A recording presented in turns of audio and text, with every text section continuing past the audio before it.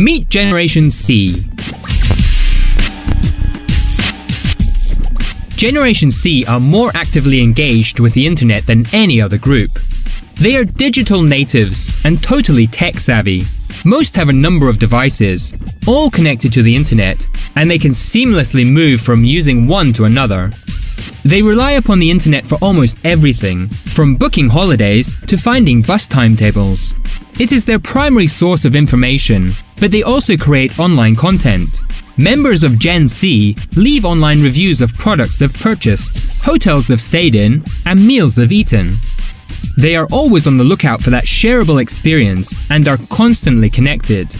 Most have social media profiles and choose to post updates on a daily basis.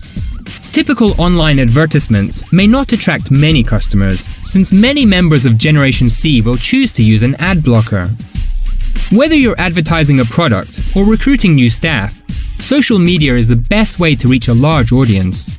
In fact, in January 2019, statistics showed that more than 3.4 billion people were active social media users, and this number is only expected to grow as more and more people become part of Generation C.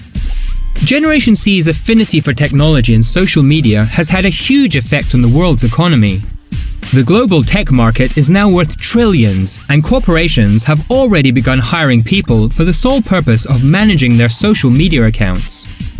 As tech companies expand to stay competitive, careers as web developers, programmers, and support specialists are opening up.